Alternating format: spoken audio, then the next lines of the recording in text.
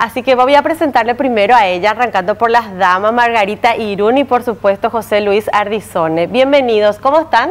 Muy bien, gracias a ustedes por la invitación. ¿eh? Un placer recibirlo, la verdad que eh, tienen una trayectoria absolutamente admirable de muchos años, ambos por supuesto, eh, a modo distinto por supuesto y también trabajando juntos ahora. 53 años ya Margarita en el teatro. Más ya. Más también. A los 16 años. A los 16 empecé a enseñar Impresionante la carrera y, la trayectoria que tenés y, mi profunda admiración también. Eh, vi la vez pasada Las Herederas, ah, eh, lo pueden ver por Netflix que está, eh, recomiendo realmente un gran trabajo que realizaron. una joyita. Una joyita. Sí. Y Ardisoni también, por supuesto, también uno de los fundadores del teatro emblemático, Arlequín, también algún día ojalá tenga el lujo de poder trabajar en ese teatro maravilloso donde presentan obras de lujo, clásicos. Hace muchos años ya Ardisoni. Bueno, sí, Arlequín se fundó el 3 de mayo del 82, así que han pasado 37 años, ¿verdad? Yo tengo unos cuantos añitos más. Sí, lo sé, lo sé. he leído sobre ambos, por supuesto, así que un placer. Pero vamos a hablar del funeral. ¿El funeral de qué se trata? Eh, ¿Quién es el autor? ¿Ya estrenaron? Estrenamos el, sábado. Hicimos un preestreno el viernes y estrenamos el sábado. Bueno, y el funeral es una comedia, una comedia sobrenatural, como, le, como, como ya calificamos, ¿verdad? Y el público lo calificó así, porque es una... Mm, sobrenatural, ¿por qué? Porque es una, un funeral diferente, un funeral eh, original, un funeral glamoroso, tiene todos los ingredientes para hacer un funeral diferente. Eso de que uno, de que, viste que ella prepara, la actriz, una primera figura del teatro y cine, sí. esta, esta obra fue escrita para Concha Velasco. El autor es su, su propio hijo. Manuel Velasco, y él escribió para ella, que creo que iba, iba a retirarse del teatro, una cosa así con esta obra, pero al final está, ella está actuando otra vez, ahorita con, haciendo gira con esta, ¿verdad? Y actuando ya con otra obra. Entonces, este, Arlequín, a través de, de Pablo, que es nuestro director, Pablo Ardizón es nuestro director, hijo de José Luis, este, se entró en contacto con el hijo y entonces ahí este, llegaron a, un acuerdo para, por los derechos, ¿verdad?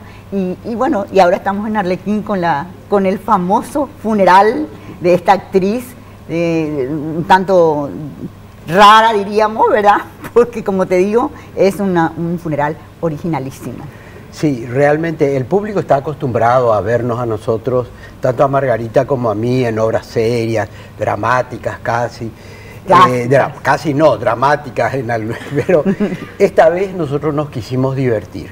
Entonces elegimos esta obra en donde ambos tenemos personajes así absolutamente disparatados.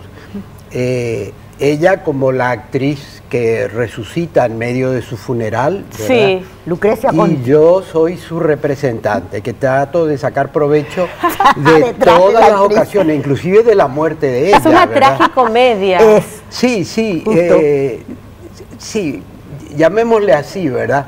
La cosa es que el público cuando llega al teatro se encuentra con todos los ingredientes de un velorio, ¿verdad? Empezando por el álbum de firmas, eh, después las nietas que le reciben y agradecen. Eh, ¿verdad? Eh, el, público ya cuando está ingresando, entonces ya incluso forma parte ya de la obra. Totalmente, exactamente. Aquí no existe lo que se llama la cuarta pared. Mm, la platea, el público está integrado, pero está integrado de una forma tranquila, no es que nosotros le hacemos no, para nada. No le hacemos intervenir, no le no le preguntamos nada, al contrario, le regalamos cositas. Ah, mira qué bien. Eh, eh, está bueno porque eh, ya hoy día ha modificado mucho esta, esta manera de, espectáculos, estas obras donde el público ya quiere formar parte de esa experiencia. Por supuesto, esto que decía José Luis, teniendo mucho en cuenta de no sentirse ellos expuestos, ¿no? Porque el paraguayo no quiere pasar pelada. Dice que el paraguayo no quiero pasar así vergüencita. Eh, me parece eh, una, una comedia muy interesante. Así que estrenaron en qué eh, teatro Alerquín. Arlequín. Arlequín este, el sábado. Estrenamos el sábado, pasado, y continuamos hoy viernes a las 21, mañana sábado a las 21, el domingo a las 20. las entradas se pueden comprar en la red UTS. Eh, bueno, y continuamos la semana que viene, esperemos que siempre con el favor del público. Las primeras tres funciones que hicimos, la de preestreno y las dos funciones normales, bueno, fueron fantásticas, con sala llena de gente. Y lo más lindo es ver la reacción, ver cómo el público al final se ríe durante la función y aplaude y se pone de pie al terminar. Eso es fantástico. y es como el público responde. ¿Fue muy difícil pasar del drama a la comedia? No, no, no. Eh, deben ser, ya veo que ustedes son un personaje de por sí mismo, o sea, deben ser algo muy divertido, pero ¿le costó no? No. No, somos actores de larga trayectoria y no es la primera vez que hacemos, comedia, tampoco. ¿no? Sí. Eh, pero, eh, bueno, pero siempre todo ahora es difícil, hasta que uno engancha y agarra el personaje, ¿no?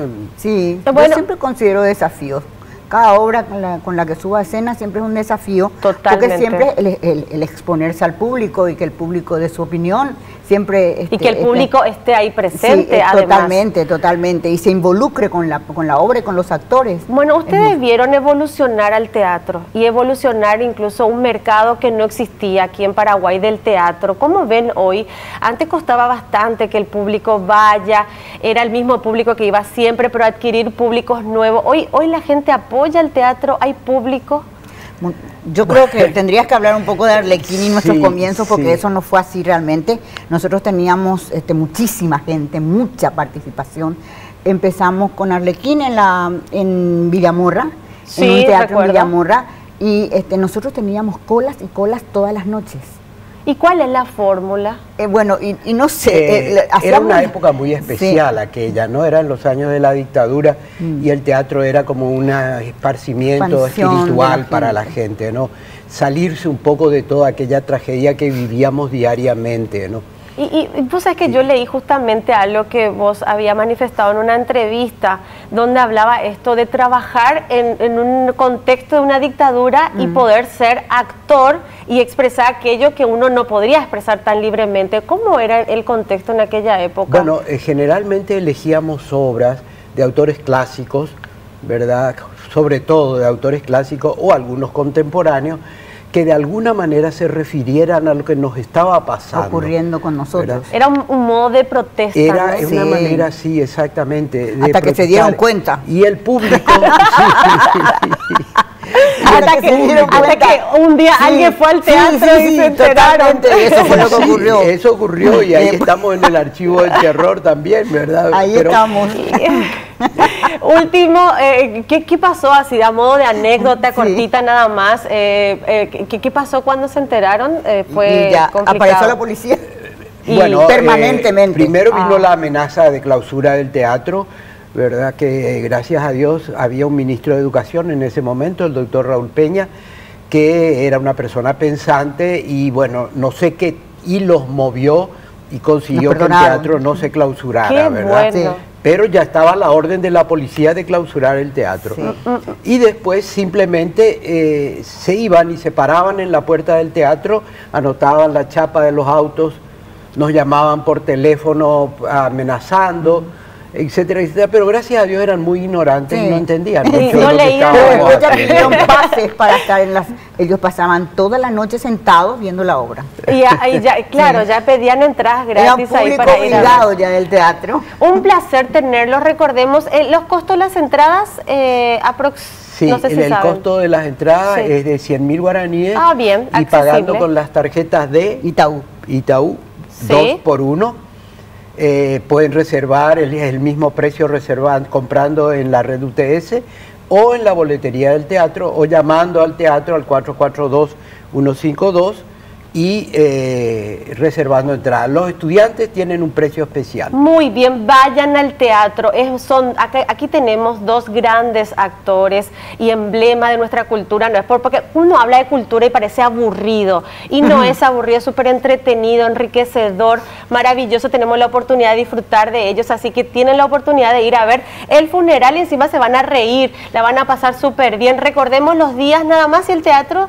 Viernes y, muchas y sábado, 21 horas, domingo domingo 20 horas, Arlequín Teatro, Antequera, entre República de Colombia y Teniente Fariña. Muchísimas gracias, Amo, un placer recibirlo, así que cualquier cosa, aquí estamos siempre en, en disponibles.